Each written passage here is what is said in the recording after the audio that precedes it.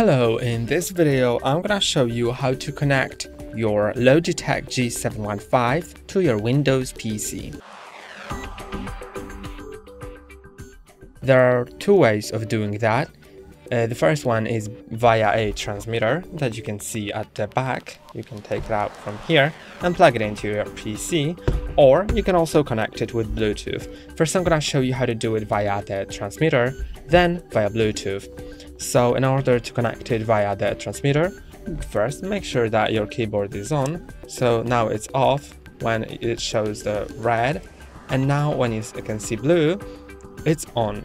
Then I'm gonna take the transmitter out from the back and just plug it into any free port, uh, any free USB port on my PC.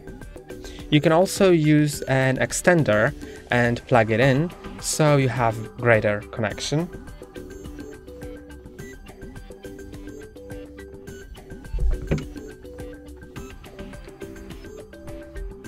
And now it is plugged in, so let's test if it works already. Yes, it just works straight away.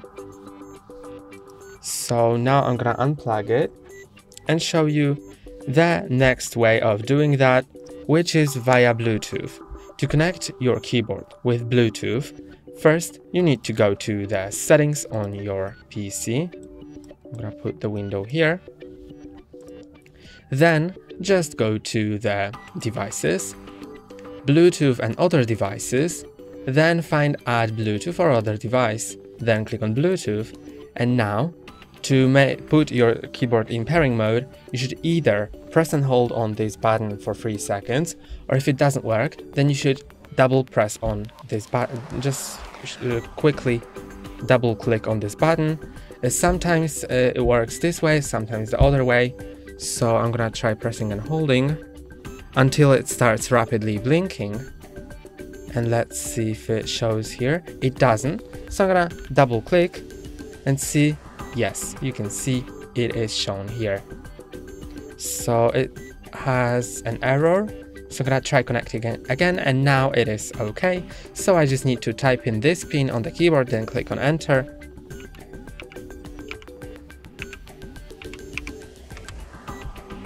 And now I'm connected. As you can see, I can type something and it works. So that's what that's all for today. Don't forget to like and subscribe. See you next time.